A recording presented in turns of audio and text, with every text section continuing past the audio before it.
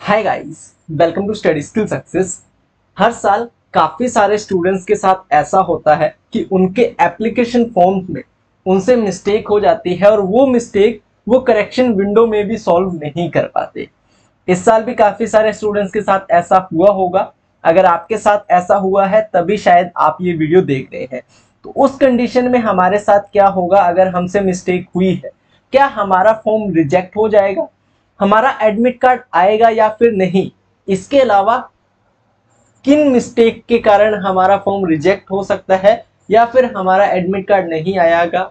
इसके ऊपर डिटेल में चर्चा करेंगे। वीडियो में एक एक डाउट आपका क्लियर होगा सो वीडियो को आप लास्ट तक ज़रूर देखिएगा।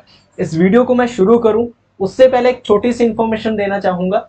देखिए यार, हमारे पास अब लास्ट के 20 से 25 दिन है और इन 20 से 25 दिनों में स्टडी करने के लिए हमारा बुक सिलेक्शन है। वो जो है वो परफेक्ट होना चाहिए। तो इसी को ध्यान में रखते हुए एजुका जोन आपके लिए लास्ट डेज़ के लिए बेस्ट बुक्स लेके आया है, जो कि आपको बायो फिजिक्स एंड केमिस्ट्री तीनों सब्जेक्ट की मिल जाएगी। एज पर एनसीईआरटी है क्लास इलेवेंथ और ट्वेल्थ और इसमें आपको लास्ट 35 ईयर के chapter wise topic wise solution जो है वो मिल जाते हैं। ठीक है? 100 परसेंट अपडेटेड है। इन बुक्स की थोड़ी डिटेल में आपको दिखा देता हूँ। बुक्स को जैसे ही आप शुरू करोगे आपको यहाँ पर सिलेबस मिल जाएगा। सिलेबस के अलावा चैप्टर वाइज आपका डिटेल सिलेबस मिल जाएगा कि क्या आपको पढ़ना है। इसके अलावा अगर चैप्टर में देखें तो आपको इस टाइप के कुछ क्वेश्चंस मिल जाएँगे जो कि आपके टॉपिक वाइज डिवाइडेड है और ईयर भी लिखा हुआ है कि किस ईयर में ये जो क्वेश्चन है हमसे पूछे गए हैं। जैसे ही आप क्वेश्चंस को कंप्लीट करेंगे लास्ट में आपको यहाँ पर इनके आंसर भी मिल जाएँगे। आंसर के साथ साथ आपको इन आंसर की डिटेलिंग भी मिल जाएगी। ठीक है? देख सकते हैं आप, पूरा का पूरा डिटेल में आपको ये जो चीज़ें हैं वो मिल जाएगी। तो एक वेल प्लान आपके लास्ट डेज़ के लिए ये बुक्स को बनाया गया है। इन बुक्स को अगर आप लेना चाहते हैं तो डिस्क्रिप्शन में इन बुक्स का लिंक है। वहाँ से डायरेक्टली आप इन बुक्स को जो है वो बाय कर सकते हैं, ठीक है? अब चलते हैं आज के हमारे टॉपिक पर। देखिए, आपके फॉर्म में तीन तरह के कॉलम होते हैं। सबसे पहले बेसिक डिटेल्स दूसरा आपके डॉक्यूमेंट अपलोड तीसरा आपका फ़ी पेमेंट बेसिक डिटेल्स में हम क्या भरते हैं? हमारा नाम father name, mother name, date of birth, gender, इसके अलावा कुछ बेसिक डिटेल्स, जैसे कि नेशनलिटी वगैरह हो गया, पेपर का मीडियम हो गया, ये वो। इन डिटेल्स में अगर आपसे कोई भी दिक्कत हुई है, यानी कि नाम में अगर, जैसे मेरा नाम पवन है, और मैंने पवन की जगह पवन कुमार लिख दिया है, या फिर मेरे फादर नेम में मैंने कुछ मिस्टेक कर दी, मदर नेम में मिस्टेक कर दी, डेट ऑफ़ बर्थ में मैंने मिस्टेक कर दी तो आपका फॉर्म रिजेक्ट नहीं होगा, आपका एडमिट कार्ड आपके पास आएगा। इन डिटेल्स को हम सही कैसे करेंगे, वो मैं बाद में बताऊँगा। सेकंड आपका आता है डॉक्यूमेंट अपलोड डॉक्यूमेंट अपलोड में हम क्या करते हैं? हमारा photo thumb impression signature certificate यही सब तो अपलोड करते हैं। इनको अपलोड करने में दिक्कत हुई है तो भी कोई प्रॉब्लम नहीं है। आपका फॉर्म रिजेक्ट नहीं होगा, आपका एडमिट कार्ड आपको मिलेगा। हाँ अगर आपने तीसरे पॉइंट फ़ी पेमेंट में कोई भी मिस्टेक की है तो आपका फॉर्म जो है वो इनकम्प्लीट माना जाएगा, यानी कि आपका फॉर्म जो है वो रिजेक्ट माना जाएगा। उस कंडीशन में आपका एडमिट कार्ड आपको जो है वो देखने को नहीं मिलेगा। अगर आपने फ़ी पेमेंट नहीं की है तो। इन तीन पॉइंट्स में अगर लास्ट वाला पॉइंट कंप्लीट नहीं है या फिर उसमें कुछ गलती हुई है तो आपका फॉर्म रिजेक्ट हो जाएगा। फ़ी पेमेंट कैसे पता लगे?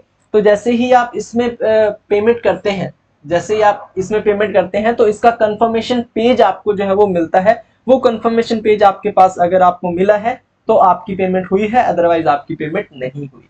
अब देखो बेसिक डिटेल्स में हमने गलती की। हमारा एप्लीकेशन फॉर्म रिजेक्ट नहीं हुआ, हमारा एडमिट कार्ड आ गया, हमने एग्ज़ाम भी दे दिया। अब बारी आती है एडमिशन की। ठीक है?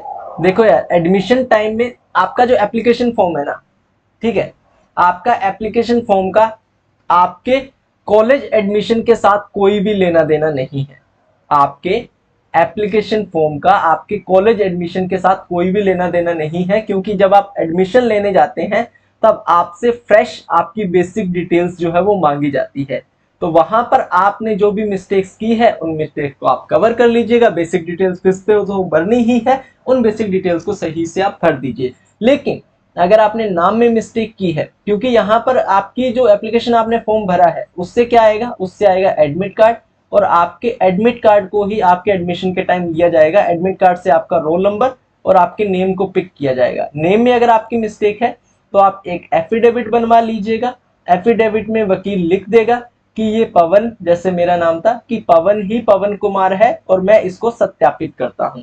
इतना हो जाएगा। ये एफिडेविट आप एडमिशन के टाइम जमा करवा दीजिएगा। आपकी प्रॉब्लम सॉल्व होगी। तो इतना सा काम आपको करना है।